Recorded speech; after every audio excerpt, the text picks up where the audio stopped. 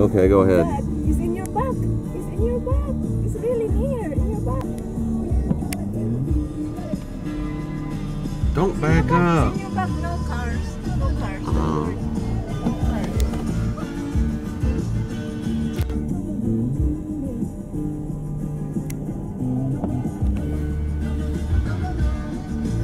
He's a big bird. listen how loud it is.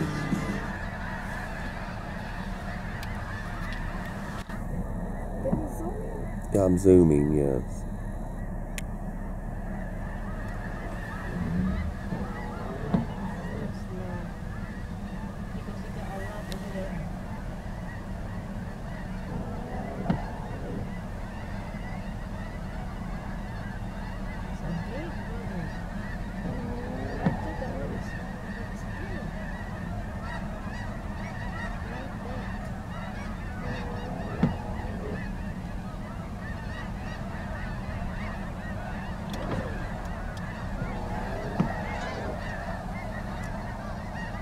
So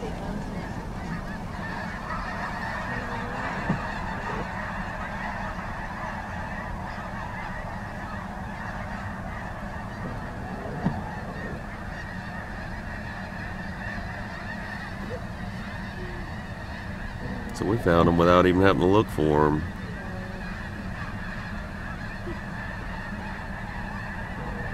Be watching behind you because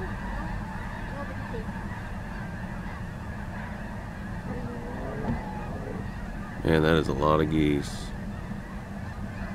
My goodness.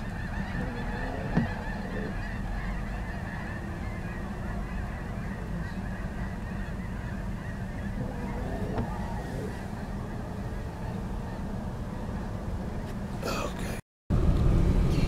Well, folks, today was very awful. I didn't even get the slightest bite. Did not catch a single thing, not even a little nibble. Um, as far as the bottom walkers go, I think they would work in a different place than I was at. But the problem we ha I had was uh, since it had the two wires going out, one on each side, they kept getting hung on each other somehow about every two or three casts and it sinks too slow which means I think a two ounce weight is needed instead of a one but the main problem I was having was this river has not had a good washout since last May. So all the dead leaves are on, on the bottom of the river. And every time I'd reel that thing in and scoot it along the bottom it would pick up about 10 dead leaves all over it. Uh, to the point where it was it was uh, every cast I was getting dead leaves so I didn't uh, catch anything on it. I eventually gave up on that altogether and just started fishing with uh, vertical jigs. Um, stayed till I could not see at all was driving the trolling motor in the complete darkness with a headlamp and uh, they still never did bite. The other thing that backfired on me was I wanted to get up at four in the morning, five in the morning, and be there at six. I didn't get there till one o'clock because it rained from midnight all the way till noon. It rained 12 hours straight. Not really heavy or anything, and just a sprinkle. Uh, so it did mess the water clarity up a little bit, not too bad, but I'm sure the weather had a lot to do with it and uh, also walleyes best known to bite on a full moon it was actually a new moon so or like a one day moon um, so as far as those rigs go uh, I think they would work better on a sand or a rock bottomed water environment with no dead leaves maybe a different time of year they'd be more productive of course and the heavier weight is needed. So uh, I'm not giving up on those things. I am going to try them again. Uh, depending on where I'm at, I'm going to switch the weight to uh, even double the size. And I think it would work good in a in a pond or lake better than, or even catfishing it would where I was. Uh, one thing I was having, that thing would sink really slow.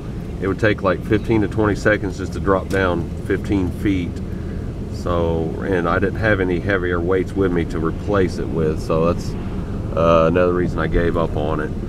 Anyway, uh, was. Uh, I'm basically gonna give up for a while on the walleye. Uh, I'm just gonna wait till the middle of March when the crappie start biting. If I do walleye, it'll be one more time. It'll be on in two weeks from now when the full moon hits, and weather permitting, or if I'm even off work or whatnot. It might not be. It might be in the middle of the week. I'll have to look at the schedule.